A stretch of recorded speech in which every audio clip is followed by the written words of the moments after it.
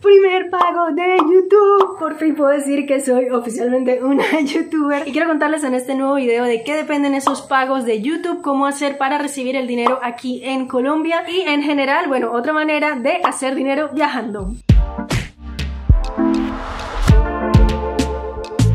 Primero que todo, bienvenidos a este nuevo video aquí en el canal de la vieja que viaja. Mi nombre es Paula. Estas son mis redes sociales. Si tienen alguna pregunta, yo siempre contesto allá. Y vamos a hablar específicamente del tema de YouTube. Cómo lograr que YouTube te pague. Realmente no es fácil, es bastante trabajo duro y sobre todo perseverancia. Y obviamente te recomiendo que te quedes hasta el final porque voy a mostrar cuánto fue mi primer pago de YouTube transparentemente para que sepas, bueno, cuáles son los mitos también que hay detrás de las personas que viven de YouTube Obviamente no vivo aún de YouTube, pero es un ingreso que te puede llegar extra a ti también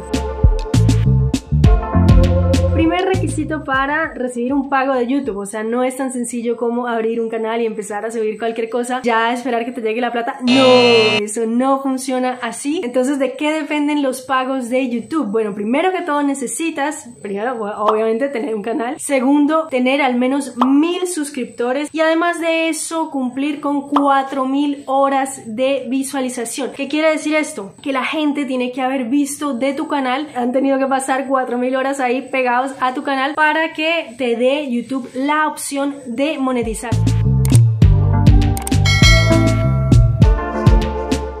Paga por suscriptores, paga es por cantidad de vistas y el tiempo obviamente que la gente pase viendo tu video. Entonces la cantidad de vistas es importante y además el origen de esas vistas. ¿Por qué? Porque eh, los que ven los videos desde Estados Unidos, por esa gente a ti te van a pagar más dinero. Luego sigue la gente que ve los videos desde Europa y luego están los que ven los espectadores del resto del mundo. También el tema del que tú hables en el video, porque si son temas donde los anunciantes están poniendo buena plata en publicidad en YouTube, a ti te van a pagar más sin importar si la mayoría de gente que te ve está en Sudamérica o está en cualquier lugar. ¿Por qué? Porque los anunciantes están pagando más por ese tema. Ejemplo, ese es el video más visto de mi canal, tiene, está llegando casi a las 50 mil reproducciones, que eso en YouTube es una gran proeza, ¿no? En serio, porque YouTube es difícil, es una plataforma complicada, por eso no todo el mundo está acá. Pero entonces, miren en total cuánto a lo largo del tiempo he recibido por ese video comparando con el segundo video más visto de mi canal que está llegando casi a 30 mil vistas que es simplemente un tutorial de cómo ganar dinero con Kuai que es una plataforma de videos. Lo hice justamente como parte de estas series para mostrarles que sí es posible ganar dinero viajando y las apps chinas es una de esas formas. Entonces hice este tutorial miren cuánto me dejó de ganancia solo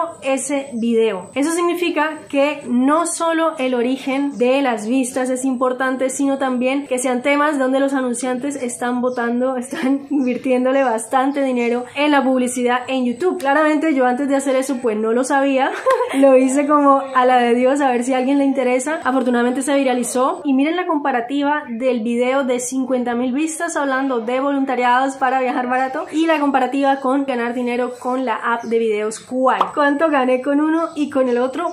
Pese a que el primero tuvo muchísimas más vistas. Entonces, esa es una muestra de que de realmente las ganancias en YouTube pueden ser muy variables y dependen de distintos factores.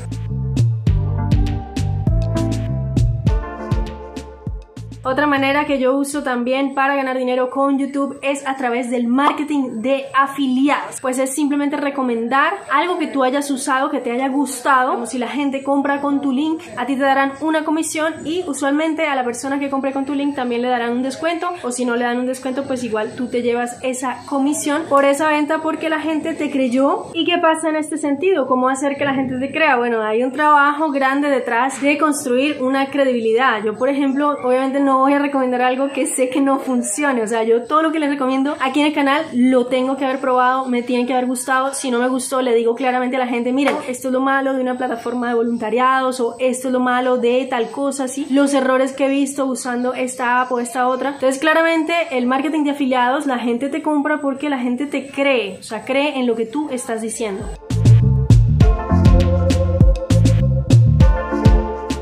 Depende de que tanta gente vea tu video y se decida a comprar. No es lo mismo la cantidad de vistas de un video que las conversiones que ese video genere. Así que esta manera de ganar dinero con YouTube también es demasiado variable y es bastante un poquito más complicada también que el pago simplemente de YouTube, que es simplemente por la cantidad de gente que vea tus videos. El marketing de afiliados es la gente que se decida a comprar lo que tú estás ofreciendo o lo que está la reseña que estés haciendo. Estas conversiones son difíciles. Yo por eso soy muy escéptica de algunas redes sociales, por ejemplo Instagram. Instagram es una red social que convierte muy poco. En cambio la conversión en YouTube puede ser importante pese a no tener muchos seguidores. Que eso también es otra cosa que a mí me choca un poquito, ¿no? Que muchas veces temas de marcas, patrocinios y demás son como que no, te pagamos por el número de seguidores, te pagamos tanto. No sabes el compromiso de esos seguidores con la persona que esté haciendo la reseña y demás. No es lo mismo tener seguidores comprados o tener seguidores de concursos que tener gente que se suscribió a tu canal porque le ayudaste en un tutorial o porque lo inspiraste a viajar o porque sí. Entonces es muy variable este tema del marketing de afiliados y así que hay que jugar un poquito con la incertidumbre también, ¿no?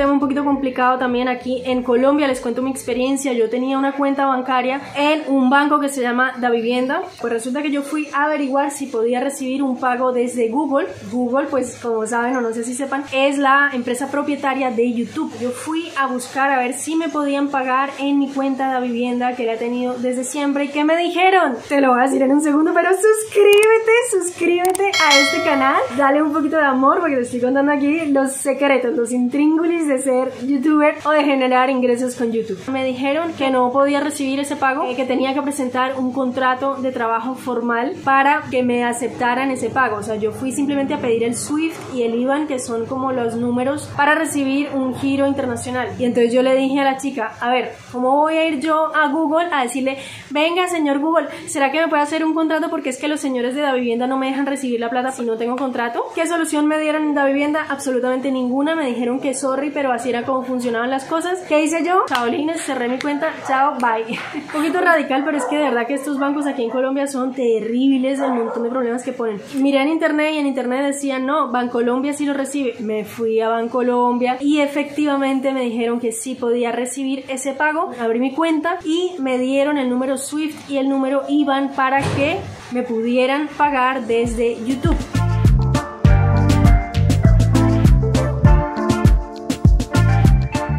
Que Google paga a través de un sitio web, una plataforma que se llama Google AdSense, que no es solamente los pagos de YouTube, sino si tienes un blog, también AdSense, todos los ingresos de AdSense por publicidad te llegan a esa cuenta. Entonces simplemente tienes que entrar a la parte de AdSense, inscribir tu cuenta, ahí van diciendo todos los pasos y había una parte que me generaba dudas y era que decía tienes que poner una cuenta colombiana que esté apta para recibir en dólares.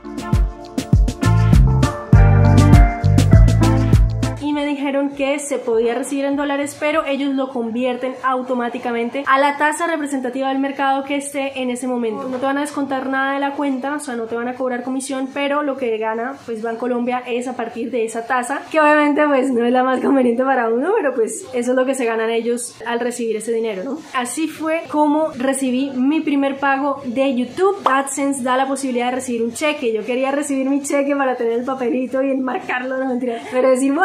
mi primer cheque para el, el video de YouTube. Pero, ¿qué pasó? Todo el mundo me dijo, ni se te ocurra el cheque porque te, no te lo van a aceptar en ningún banco y ahí sí te vas a quedar embarcada sin poder reclamar esa plata y te va a tocar devolver el cheque a Google, etc. Y yo dije, no, ¿para qué nos ponemos a eso?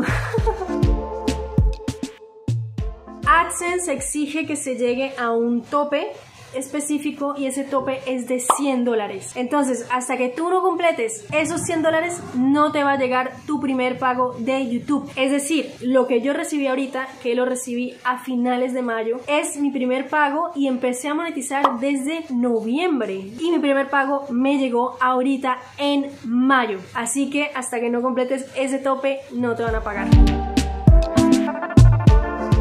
Y ahora sí, a lo que vinimos, a lo que vinimos y por lo que te hice esperar todo este video.